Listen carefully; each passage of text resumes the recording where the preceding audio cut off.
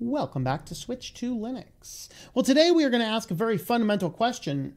Is your distro about to drop Chromium? Definitely an interesting debate coming on down the pipeline because some interesting stuff has recently come out that has some distributions saying, yeah, I might actually drop Chromium from the repos. That's a very interesting point to make. And so let's go ahead and have a brief look at what we're looking at here. This coming from the Chromium blog back last week, January 15th. This was first sent out by one of the users on uh, Discord. And the article goes in to say during a recent audit, we discovered that some third party Chromium based browsers were able to integrate Google features such as Chrome Sync and Click to Call that were intended only for Google users. This meant that a small fraction of users could sign into their Google account and store their personal Chrome Sync data, such as bookmarks, not just with Google Chrome, but also with some third party Chromium based browsers. We are limiting access to a private Chrome API starting on March 15th. Now, I will point out this is a very interesting position to take all of a sudden because if you remember, it was maybe about a year or so ago, they very silently turned on Chrome Sync, specifically on open source Chromium browsers. If you are unaware of what that was, maybe you even missed it even to this day, this is a feature inside the browser that if you sign into any Google account, it automatically signed you into the browser and started syncing data. Many of us, uh, in fact, it was the open source Linux community that caught on to this, and we were the only ones really not blindsided by this. You just go on into your settings and disable that. They put in the disable option in the next setting. And so, what they're looking at here is all of a sudden it's a surprise to them that the Google APIs are being used. Now, there is a little bit of a warning note here to think about. Right now, there is Safari, which find me the people that use that. I mean, most people, even on an Apple, don't even use Safari. And that's a very small percentage of people. We have a Firefox base and we have a Chromium base. Right now, now that everybody has gotten onto Chromium, I mean, Brave is built on Chromium, Vivaldi's built on Chromium, Microsoft Edge is now built on Chromium. And now that Google has gotten in there and gotten pretty much the whole world, let's embrace, extend, and extinguish. And they are cutting off all of those APIs that have been in this system for years. In fact, many of the Linux distributions, it is well known that those APIs were in there, and it was well known by Google that they were utilizing those APIs and they were doing so with full express permission. Now, as I covered in the weekly news roundup this week, you will note that there is a new uh, system for ad tracking being implemented into the Google accounts, and they are probably trying to do this as a way to get ahead of that and make sure. And I'm not sure exactly what their end play is because I figured it'd be better for them if those APIs are enabled. So I'm not sure exactly what's at play here. I don't think this is an accident. I don't think it took some audit. I think there's some very specific reason for this change.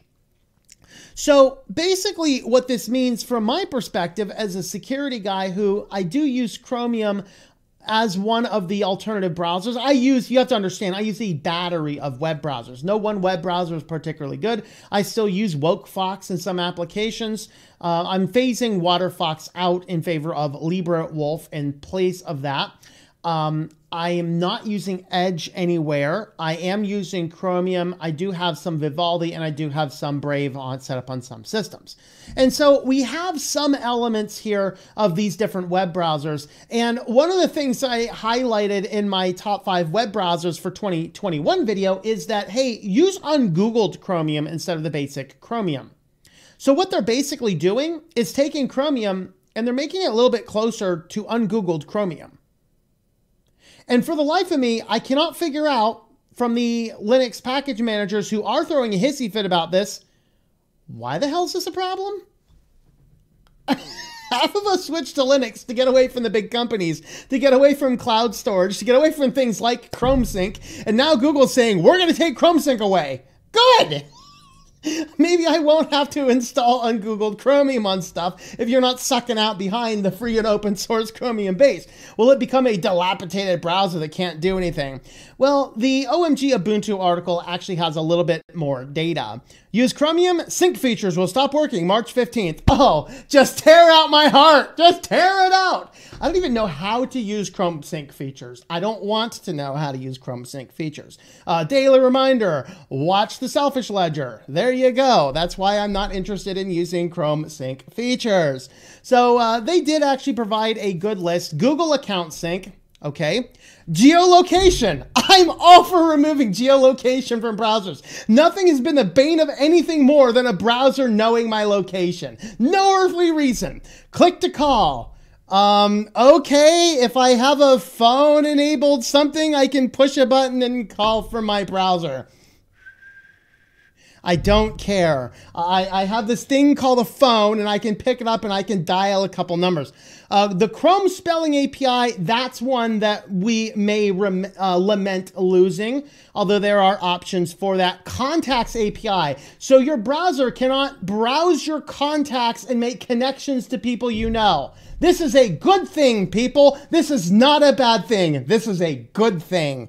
And then Chrome Translate element. Okay, fair enough. Uh, if I, in the odd sense that I find myself on a German website like I was the other day, and uh, they don't have an English translator. Unfortunately, the site I was on did have a translator. I can't automatically translate it in the page. Okay, I hear you there. Uh, there are I believe, alternatives for that as well. Let's go back to the only one of these that is remotely useful, in my opinion, is the Chrome spell checking API.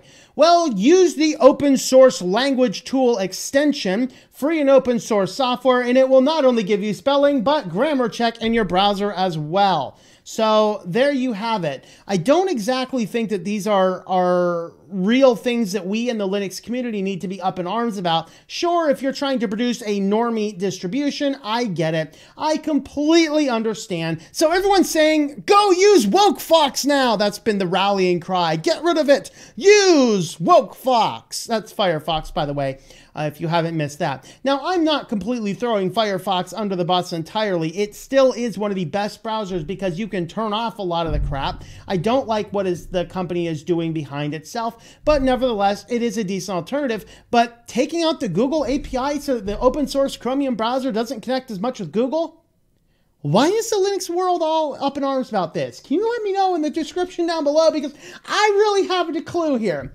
But uh, there are, of course, the Arch developer uh, for this. I'm not sure.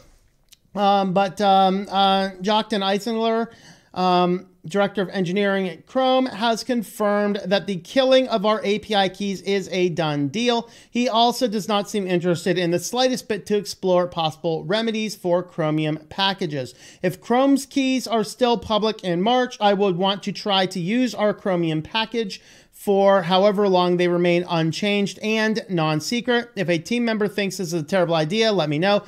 If uh, if or when the above workaround fails, I'm going to stop maintaining Chromium and be in favor of dropping the package from our repos, though I have a feeling somebody will want to adopt it despite the reduction in functionality.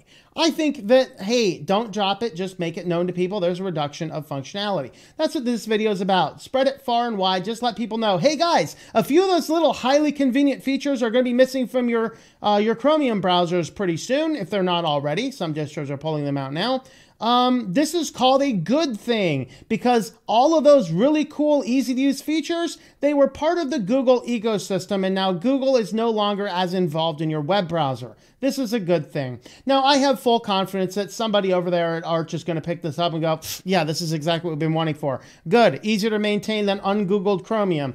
so there we have it. So that's the, the, the bottom line is that Chromium is indeed losing uh, sync support and other features as we have highlighted. So, uh, so what? There's an excellent post over on the Level 1 Tech forums. Check out Level 1 Tech's channel if you've not already. Excellent content over there. They have a list uh, distros considering removing Chromium after Google revokes it. So Arch, uh, of course, we just looked at the arches.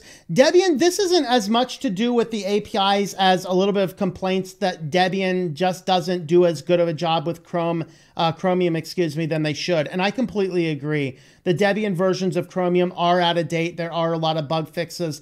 Debian should probably be a little bit more on it. I know Debian rolls about as fast as a Glacier, which is one of its positive selling points, but maybe we should keep the web browsers a little bit more up to date, I guess.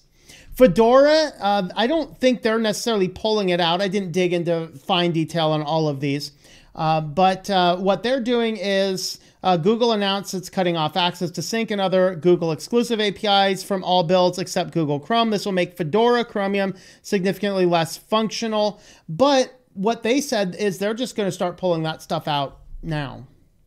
Slackware. Uh, from the email I received, I understand the ability to use Google Sync will be removed from my APIs used to build the Slackware Chromium browser binary. The value of Chromium package for end users will drop right to zero if this is true. Right to zero if this is true. I'm sorry, I completely disagree with that statement. So you cannot use Chrome Sync all right, guys, let me know. You Linux users, are you using Chrome Sync? Are you giving this data to Google? I don't understand. I dropped right to zero. No, this increases functionality for me. I have I can be a little bit less careful on Chromium.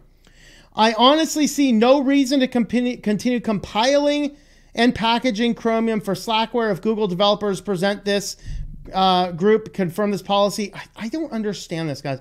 Chromium is just as bad as Firefox. You can't trust either, and Chrome is way worse. I don't see this as a loss. Might be red pill for you, few normies. Amen, Sergeant Awesome. Absolutely correct. This is a red pill, guys. Oh my God, my all of my computer's data stopped syncing with Google servers and this is a bad thing? Uh no, no, no. And then there's a little bit more discussion. But look at look at this. This is this is sometimes how disconnected some of the Linux package people are. I really don't see this as being a loss. It's not like this from first time Google has killed a feature. If you want to try first party features and use a first party product.